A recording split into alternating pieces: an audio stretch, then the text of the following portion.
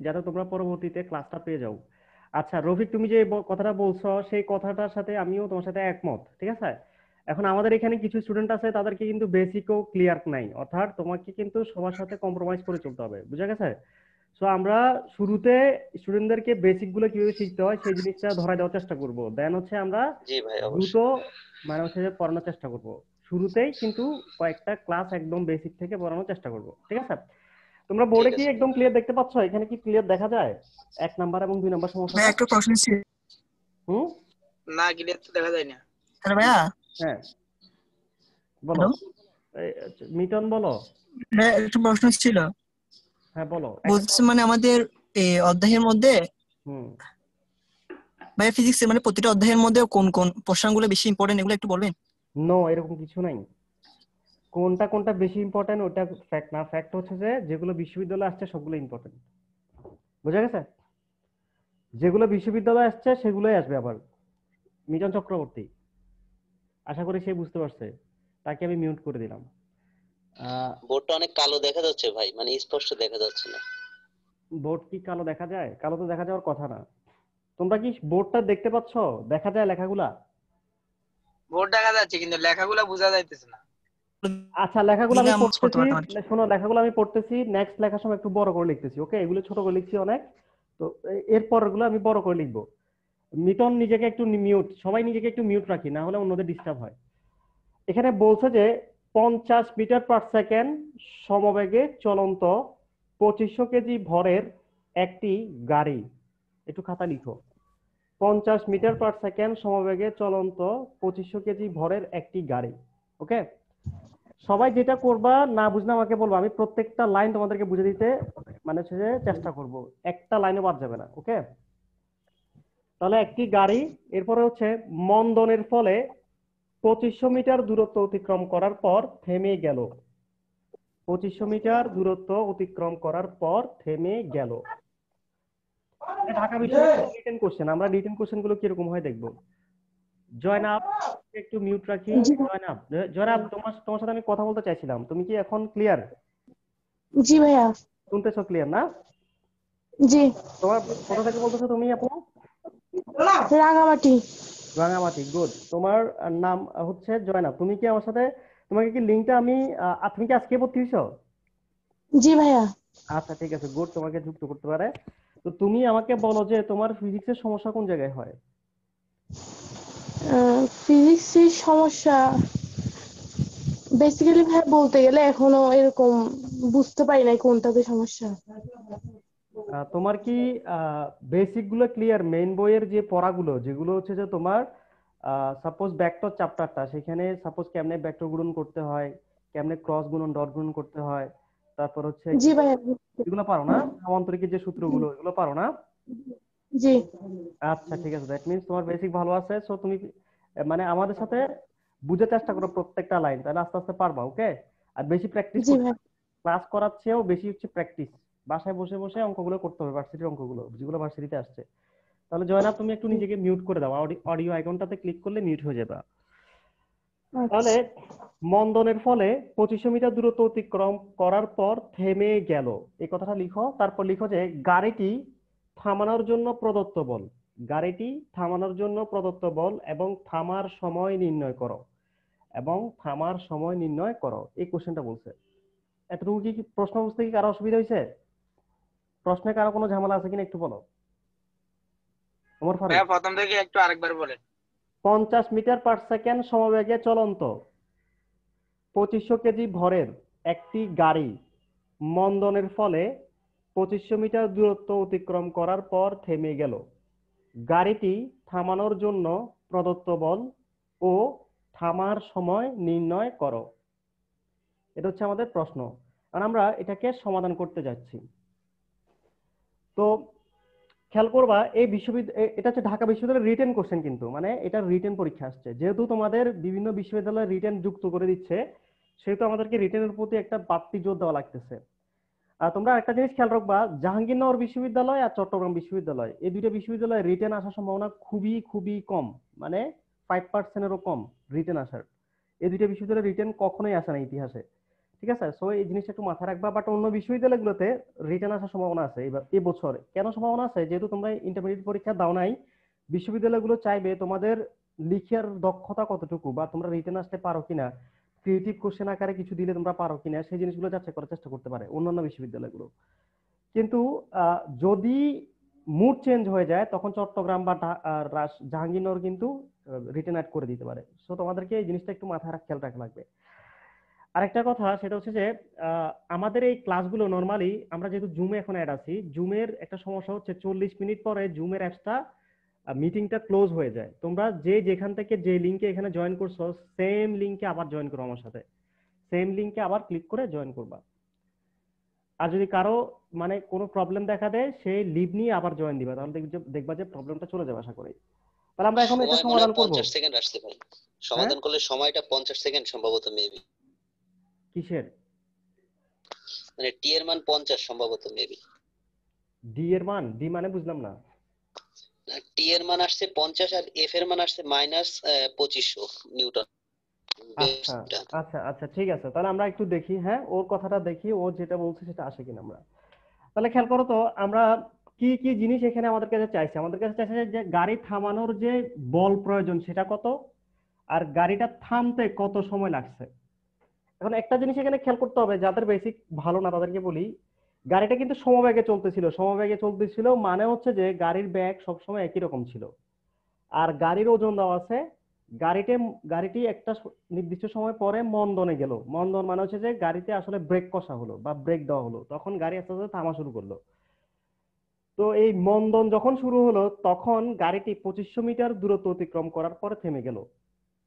তারপরে বলল যে গাড়ি থামানোর জন্য যে বল, সেটা আমাদেরকে বের করতে হবে আর সময়টা বের করতে হবে। তাহলে বল কত আমরা বের করব? আর সময় কত আমরা বের করব? এখন বলের একটা সূত্র আছে, তোমরা নিশ্চয়ই জানো, বল F equal to M A right তাহলে নিশ্চয়ই আমাদেরকে এই ফর্মুলাটা ব্যবহার করতে হবে বল নির্ণয় করার সময়। এই জিনিসগুলো আগে বুঝতে হবে, যে আমাদেরকে নিশ্চয়ই এই এই সূত্রটা ব্যবহার করতে হবে। এখন এই সূত্রের মধ্যে কয়টা জিনিস আছে? দুইটা জিনিস আছে, একটা হচ্ছে ভর, একটা হচ্ছে ত্বরণ বা মন্দন। এ হচ্ছে ত্বরণ বা মন্দন। এখন আমাদের ভর কিন্তু প্রশ্নে দেওয়া আছে, পঁচিশশো কেজি, গাড়ির ভর। কিন্তু প্রশ্নের মধ্যে ত্বরণ বা মন্দন যেটা, সেটা কিন্তু দেওয়া নাই। দ্যাট মিনস ত্বরণ বা মন্দনটাকে আমাদেরকে বের করে নিতে হবে। আমরা সেটা কীভাবে বের করব? প্রশ্নের মধ্যে যে তথ্যগুলো দেওয়া আছে সেই তথ্যগুলোকে ব্যবহার করে আমাদেরকে বের করতে হবে। প্রশ্নের মধ্যে কি তথ্য আছে? সমবেগ ছিল, আর হচ্ছে যে এত মিটার দূরত্ব অতিক্রম করছে। ঠিক আছে? তাহলে যদি ত্বরণ বের করতে হয়, আমাদেরকে কয়েকটা সূত্র, কি কি সূত্র আছে? সাপোজ একটা আছে যে B equal to U plus a t এই সূত্র আমরা ব্যবহার করতে যদি যাই, আমাদের কাছে সময়ের প্রয়োজন আছে বাট আমরা প্রশ্নের মধ্যে কোনো সময় পাচ্ছি না। প্রশ্নে কোনো সময়ের কোনো কিছুই দেওয়া নাই। সময় উল্টা জিজ্ঞেস করছে। সো দ্যাট মিনস আমরা এই সূত্র ব্যবহার করে এ বের করতে পারতেছি না। তাহলে আরেকটা সূত্র আমরা জানি যে B square equal to U square plus two A S দেখো তো এই সূত্রের মধ্যে যদি আমরা যাই, আমাদের এস কিন্তু আমরা জানি এস হচ্ছে অতিক্রান্ত দূরত্ব, পঁচিশশো। এ আমরা বের করব। ইউ ইউ এবং বি এর যে কথা যদি আমরা বলি, যেহেতু গাড়িটি থেমে গেছিল, তার মানে হচ্ছে গাড়ির শেষ বেগ শূন্য। গাড়িটি যেহেতু থেমে গেছিল, গাড়ির শেষ বেগ শূন্য, এটা থামার সময়, থামার যখন থামলো তখন। কিন্তু এখন আমরা আপাতত এই সমবেগ যেটা আছে, সেটাকে ব্যবহার করে আমরা এখানকার ত্বরণ যেটা, সেটাকে বের করব। তো কীভাবে বের করব আমরা? একটু খেয়াল করি। আমরা লিখব two A S equal to V square minus U square এবার আমরা কি করব যে আমাদের এটা দরকার। তো আমরা নিচে লিখব টু এস আর উপরে লিখব V square minus U square তোমরা কি ক্লিয়ার দেখতে পাচ্ছ এটা? এখন যেটা লিখছি এটা দেখা যায়? না ভাইয়া দেখা যাচ্ছে না। কি বলো দেখা আরও ক্লিয়ার হওয়ার দরকার। আরও ক্লিয়ার হওয়া দরকার না? ওকে ওয়েট একটু ওয়েট আমি আর একটু ক্লিয়ার করে দিচ্ছি তোমাদেরকে। এখন ক্লিয়ার দেখা যায়? এখন? চলার মতো। চলার মতো। এখন? আরও এখন ক্লিয়ার দেখা যায়? হ্যাঁ ভাই এখন একটু ঠিক আছে। আচ্ছা ঠিক আছে থ্যাংক ইউ আমি আর একটু মোটা কালি দিয়ে লেখার চেষ্টা করতেছি। তাহলে A equal to two A S এখন প্রশ্নটা সমাধান করছিল রাকিব মেবি রাকিব আমাকে বলো যে, আমাদের যে এখানে পঞ্চাশ দেওয়া আছে, সেটাকে আমরা ভি এর জায়গায় লিখব নাকি ইউ এর জায়গায় লিখব? ওটা অবশ্যই ইউ এর জায়গায় হবে, আমি সমাধান করছিলাম, রফিকুল। হ্যাঁ ওটা ইউ এর জায়গায় হবে, কারণ যেহেতু সম- সমবেগ ভি তো থেমে গেছে, থেমে যাওয়ার পরে ভি সমান জিরো আচ্ছা গুড ঠিক আছে? তার মানে আমরা বি স্কোয়ারের জায়গায় শূন্য লিখব মাইনাস ইউ স্কোয়ারের জায়গায় ওই যে ইউ এর জায়গায় লিখব হচ্ছে কত? পঁচিশশো সরি পঞ্চাশ। ইউ এর জায়গায় পঞ্চাশ হ্যাঁ। পঞ্চাশ পঞ্চাশ whole square divide by two into S S হচ্ছে কত? পঁচিশশো। এখানে কাজ করো তোমরা কি নিশ্চয়ই একটু কম দেখতেছো মনে হয় এই পাঁচটা এতটুকু দেখলে হবে আপাতত। দেন হচ্ছে যে এটা কাজ করলে আমরা পাচ্ছি এ ইকুয়াল টু দেখতেছো হ্যাঁ দেখতেছো এখানে কত আসছে বলো তো? Minus minus one minus one না মাইনাস ওয়ান আসার কথা না। Minus point five minus minus half আছে হাফ মাইনাস হাফ এই যে minus point five metre second inverse two ঠিক আছে? আচ্ছা। এখন যেটা আমরা লিখছি এটা হচ্ছে যে আমাদের মন্দন মন্দনটা আমরা পেয়ে গেছি। তাহলে আমরা গাড়ি থামানোর জন্য যে বল সেটাও আমরা পেয়ে যাচ্ছি এফ ইকুয়াল টু এম এর মধ্যে থেকে। এম কত? এম হচ্ছে পঁচিশশো। ইন্টু এ এ হচ্ছে মাইনাস পয়েন্ট ফাইভ এখন আমরা এখানে পাচ্ছি কত? মাইনাস পঁচিশশো সরি তাহলে হয় কত?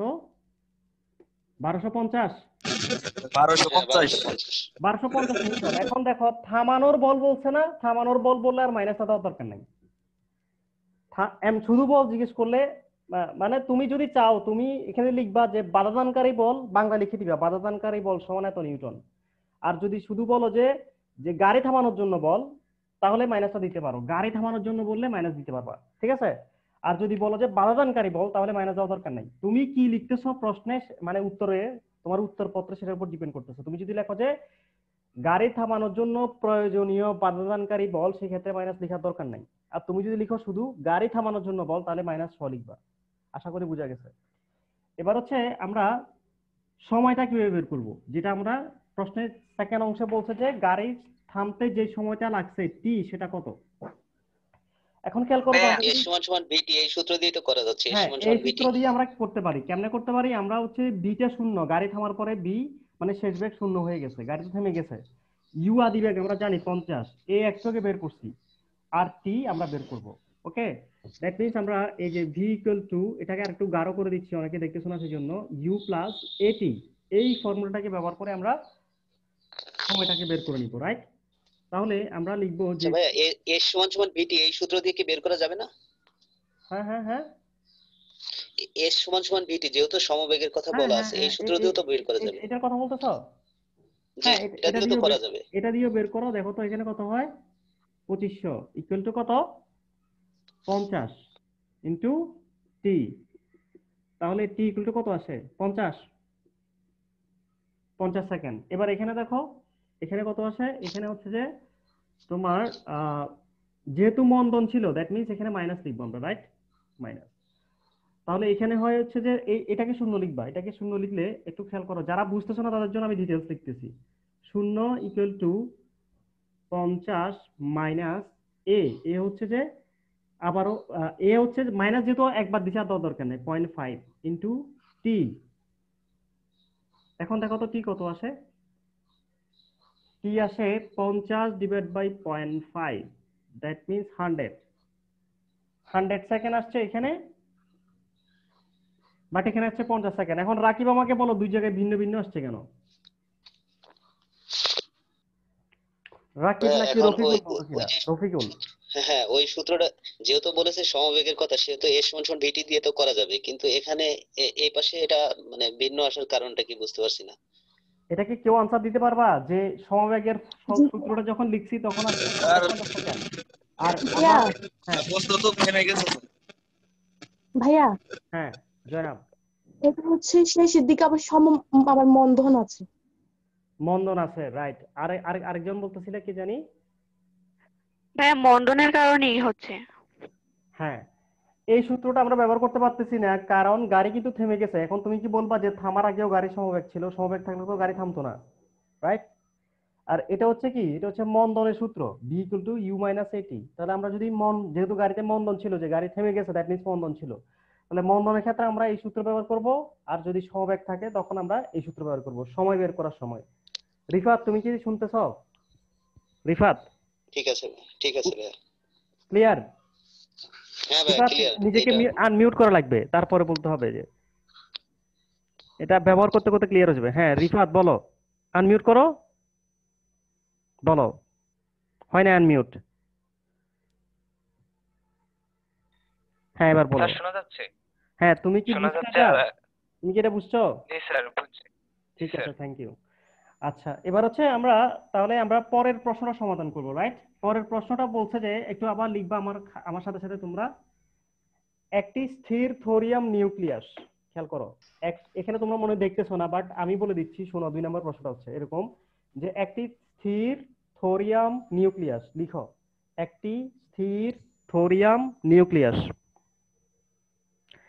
একটি স্থির থোরিয়াম নিউক্লিয়াস, ব্র্যাকেটে লিখো যে ব্র্যাকেটে লিখো এ ইকুয়াল টু দুইশো বিশ, comma Z equal to nineteen ninety তাহলে আমরা লিখব কি? একটি স্থির থোরিয়াম নিউক্লিয়াস, তারপরে ব্র্যাকেট দিয়ে এটা লিখব। তারপরে লিখব, হতে হতে ইনট গতিশক্তির একটি আলফা কণা নির্গত হয়। আলফা বাংলা লিখতে পারো। একটি আলফা কণা নির্গত হয়।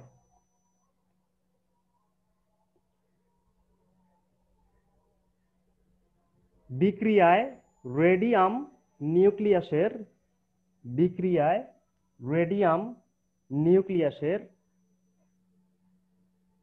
বিক্রিয়ায় রেডিয়াম নিউক্লিয়াস